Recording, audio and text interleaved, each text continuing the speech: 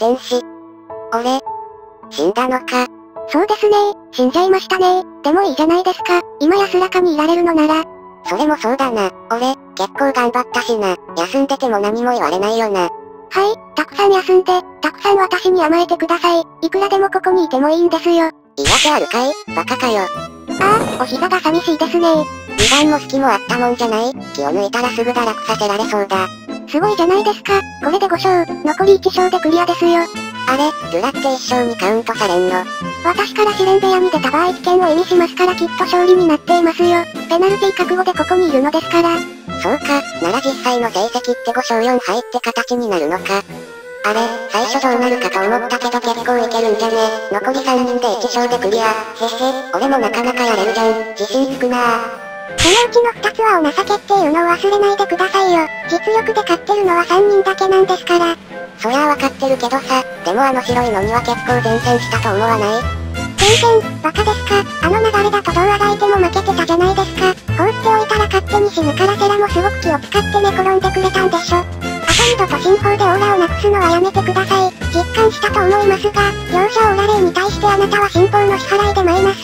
数秒後には死です。自滅もいいところですよ。自殺志願者にしか見えませんでした。センスなし。すごい辛辣じゃん。白いの。えっとセラ戦、あのままオーラを奪わなかったらどうなってたんだろう。セラは自身のクリスタルオーラを一度わざと壊させて有利にさせるように仕向けてたのは理解してます。え、そうなの、てっきり俺が壊したのかと。あそこで壊させないと一度あなたが冷静に次の策を考えるでしょう。だからあえて壊れないと思っていたものを壊させたんですよ。そうすれば冷静に次の判断をする前に目先のチャンスを必死に追いかけるようになりますからね。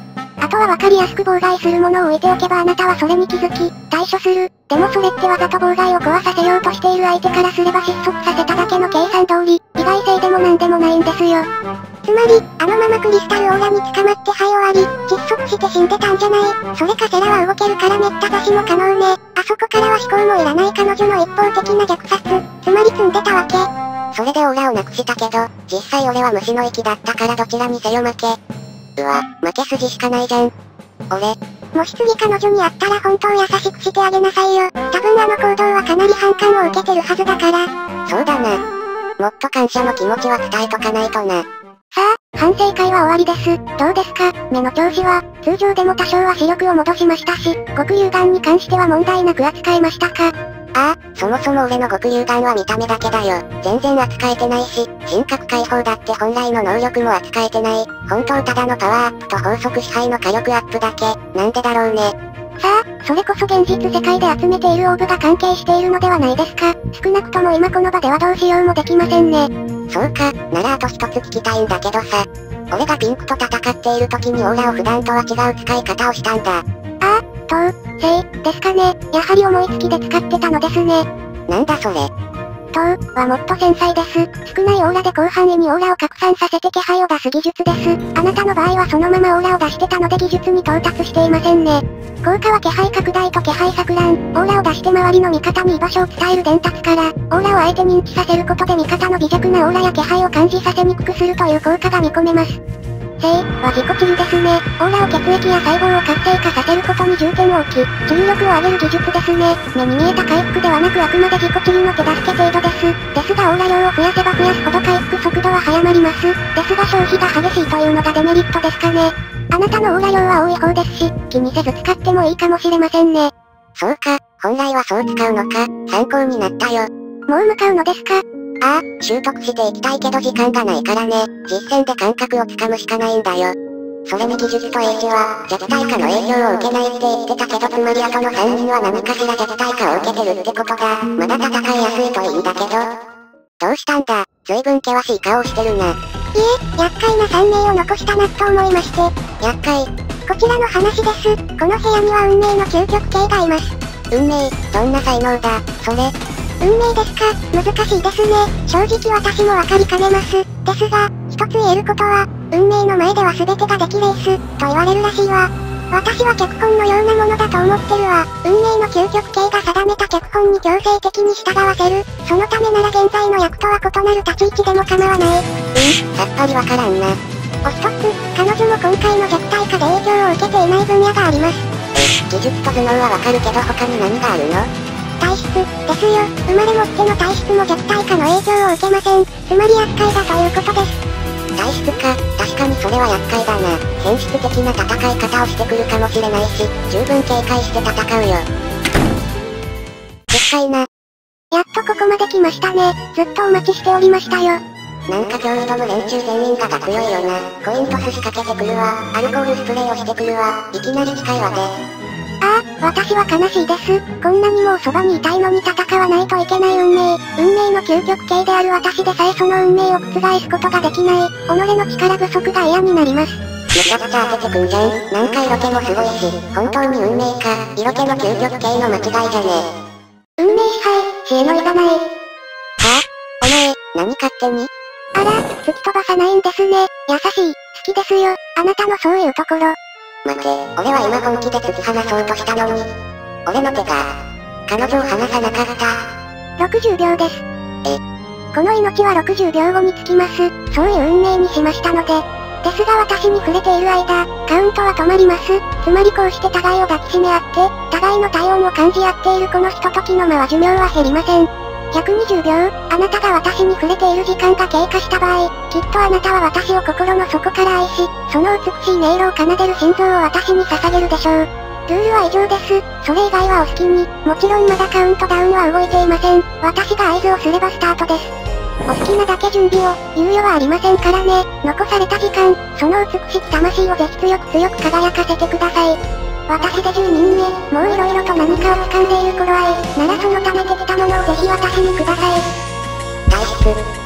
多分体質だ、見よう、おかしい、この状況で初対面なのに、俺は彼女をすごく愛おしく思って、あのまま抱きしめてむちゃくちゃにしたい。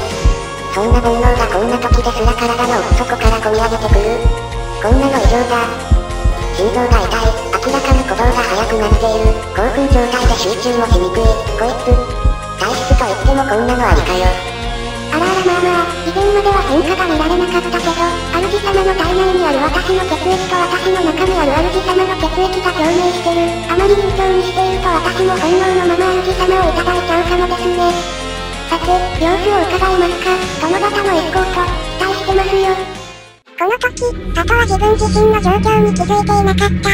本人はただいつも通り、構成を使ってオーラを整えている。だが実際はルナの血液に強く作用し、公共が大きく跳ね上がり、公共よりも負担が大きい高単という技術が発動していた。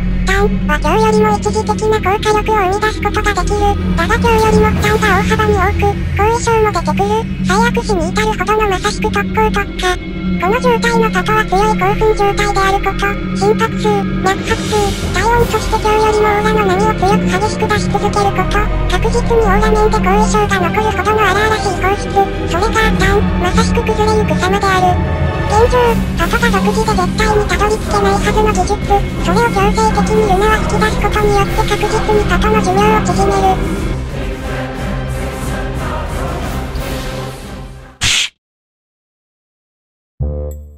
の言い回し、なんであんなに卑猥に聞こえるのかしらね。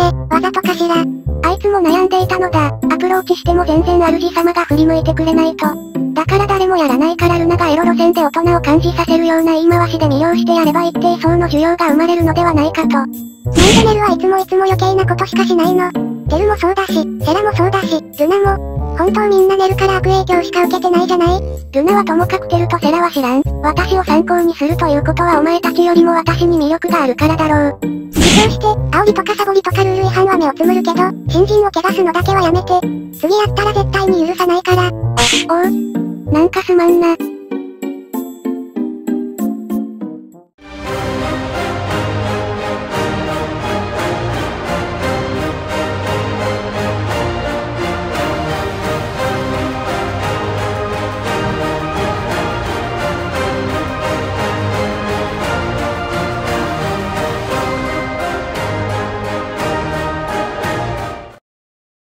最近暑くなってきたからアイス買ってきてせっか様、そんなに暑さ感じてないでしょう。もともとは冬の巫女だったくせに、別に冬の巫女に甚大な効果は持ってなかったわよ。